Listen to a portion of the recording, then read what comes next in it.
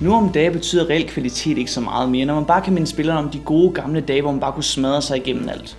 Mindre vi selvfølgelig snakker om Mercenary King, som er et rigtig godt spil.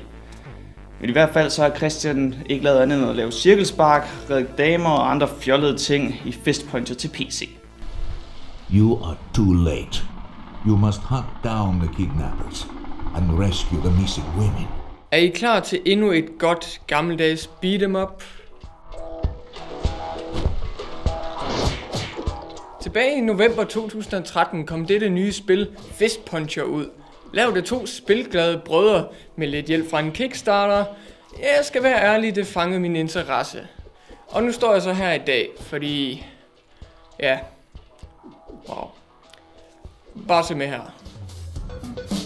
Dette Fist Puncher spil er sgu af en underlig størrelse.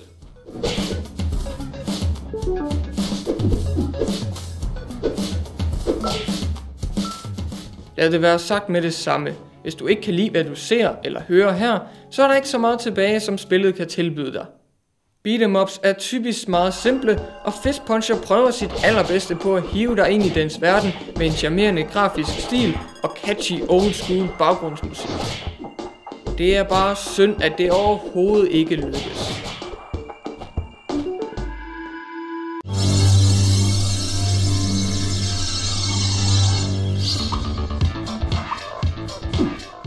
Min største kritik af Fist Puncher er uden tvivl, at kamp føles akavet og besværligt. Man kunne selvfølgelig håbe, at det var her, de to brødre havde brugt mest energi, men slutresultatet er noget værre rod, som er svært at overse. Bevægelsen er helt ved siden af sig selv her. For at være helt ærlig, så er det svært ved at forstå, hvordan at det kan ende med at føles så underligt, men jeg vil prøve at forklare alligevel. Nogle gange føles det som om man er limet til jorden, mens man fyrer slag og sparker sted, og andre gange er ens karakterer ganske mobile i kamp. Det kan ændres en smule igennem spillets nærmest oversimple RPG-system, hvor du går i level for at gennemtæske banditter og kan blive hurtigere og stærkere. Det hjælper selvfølgelig lidt, hvis man forbedrer ens karakteres speed, men selve kampsystemets design forbliver bizart. Men der er jo den førnævnte charmerende grafiske stil og catchy old school musik. Ja, jeg er ked af at sige det, men selv det kan Fist Puncher heller ikke brillere med. Spillets udseende er en tydelig imitation af de gamle beat'em-ups, som udviklerne kunne huske fra deres barndom, men den mangler simpelthen sin egen stil, et personligt touch for at være mere præcis.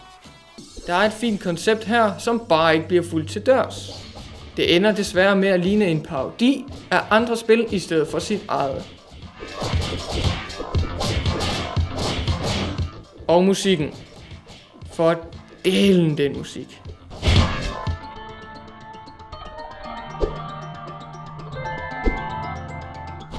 Udover spillets temamelodi, som jeg fandt ganske fin, så er resten af musikken kedelig, når det var bedst, og forfærdelig at høre på, når det var værst. Det er meget sjældent, at jeg føler, at det er en nødvendighed for mig at slukke musikken, når jeg leger med de her interaktive medier. Jeg kunne helt oprigtigt ikke holde det ud efter noget tid.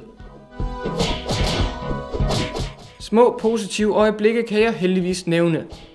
Der er over 10 karakterer at vælge imellem med et par forskellige super moves, og da jeg endelig fandt min favorit i form af et mærkværdigt individ med en bidrag på, så var jeg solgt.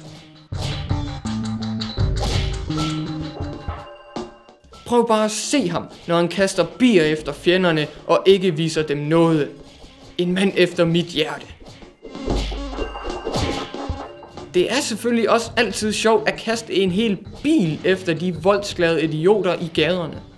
Og det her var også noget af det eneste tilfredsstillende, man kunne udføre i kampene. Og ja, det var vist det. Jeg morede mig et par gange, men det blev ikke ved længe. Hurra for retrolignende beat'em-ups på min nymoderne PC-maskine.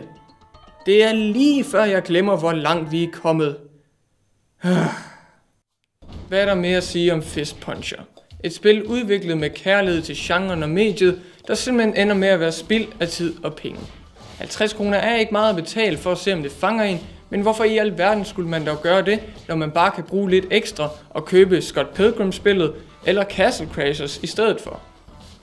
Det er bare et forslag.